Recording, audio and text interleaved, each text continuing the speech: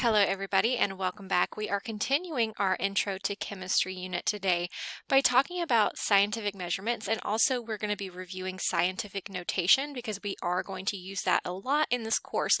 So it's very important that we just refresh ourselves um, about what scientific notation is and how to write in scientific notation. So without further ado, let's go ahead and jump into it.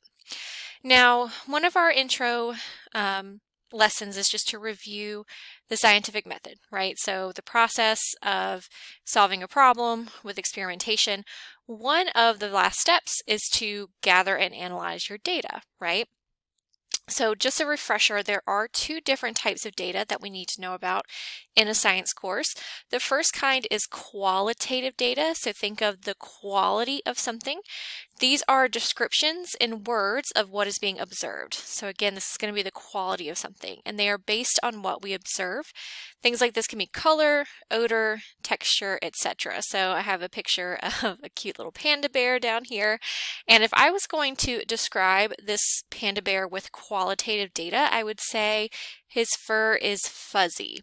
He's black and white. He smells like bamboo. I don't know what bamboo smells like, but just you get the gist, right? So you are describing the quality of something. Next, we have quantitative observations. So quantitative, think of quantity. So these are going to be a measurement that you make or have, and these are going to deal with numbers. So think of quantity, count, quantitative data. So examples of this would be measuring length with a ruler, mass with a balance, temperature with a thermometer, or measuring volume with a flask. So we do just need to know the difference between qualitative and quantitative data. Okay. So we use the metric system in order to obtain and also read quantitative observations. So we measure volume in liters. Okay, so these are going to be the units um, so the base units of these measurements. Volume is in liters, mass is in grams, length is in meters, and then temperature will be in Celsius. Okay, so degrees Celsius. And we're going to talk on the next few slides about how we measure these things. All right, so starting with mass, mass is just the amount of matter present. Usually this is for solids. Um, it is measured in grams, and we can use a scale or a triple beam balance in order to measure the mass of something. There are also digital scales now that are really prevalent in a lot of high schools, so you might have seen that. If we are going to measure the length of something, so how long it is, we are going to use again that base measurement of meters. So the base is going to be meters. And then we would use a ruler or a yardstick to measure that. Okay. Volume is just the amount of space that matter takes up. We usually use volume for liquids and gases because they're going to be taking up volume of something. We will measure this also in liters and the tools that we would use to measure would be a graduated cylinder or a beaker. Now, if you don't remember how to measure with a graduated cylinder, remember there's the meniscus that you have to measure with, which is just that kind of like um, semicircle bubble that is created at the top where the water or whatever liquid is adhering to the sides of the graduated cylinder. And remember, we always just read to the bottom of the meniscus. So that should be a review, but if you have concerns about that, just let me know. And then temperature is the amount of energy present, so how hot or cold something is. We're going to measure this in Celsius, and we would use a thermometer to measure temperature. And then time is just a measurable period of time. Uh, the base unit, so the base metric unit would be in seconds, and then we would use a stopwatch or a clock to measure that. It's pretty self-explanatory. Um, and then something else that we're going to be using in chemistry, this will be new to you guys, is the amount of particles. So when we get to unit 5, we will start talking about how many particles are in a substance, and this is going to be measured by something called the mole. So not the mole like the animal, but it's mole, M-O-L. Um, and then this is usually calculated. So we are going to do some math in this course, and you guys are going to eventually learn how to calculate that. All right, so those are just the measurement tools. Again, talking about base units, we're going to do some conversion with base units a little bit later. So, you know, this is going to be a continuous thing that we will refer back to over and over again in this course. So just a quick review of scientific notation. Sometimes numbers, especially in chemistry, can get really, really large because we're going to be talking about atoms, which are super small.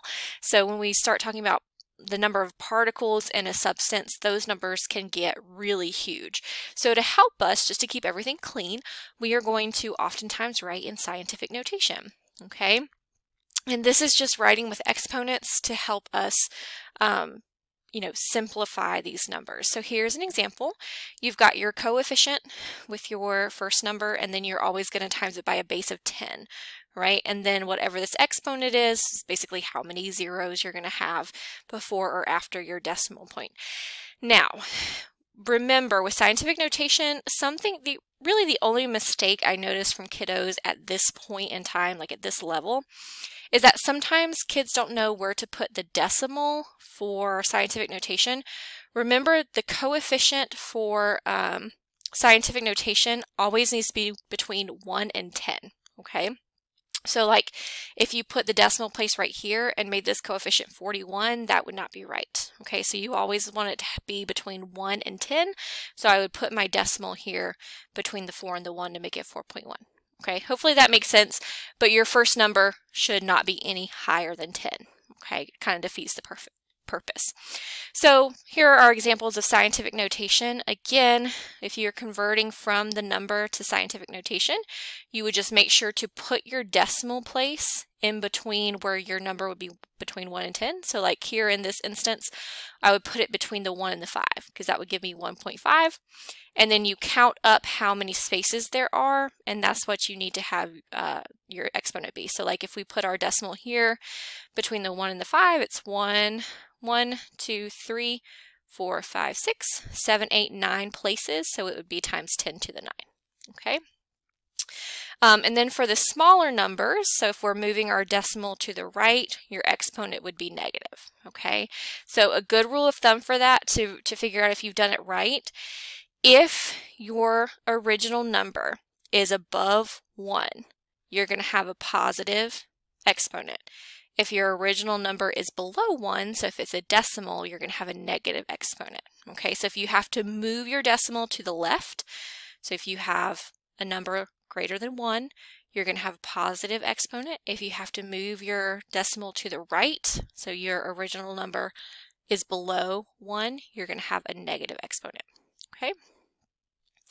And here are just those examples. Okay, so again, we have those original numbers and then you would just see where you need to put your decimal to make that first coefficient between 1 and 10. So I would put it between the 3 and the 4 here, so it'd be 3.4, and then I count how many I had to move it. So I went 1, 2, 3. I moved it 3 to the right, so that exponent would be negative. Okay, and there are some more examples here for you. You guys are going to practice this in a short assignment today.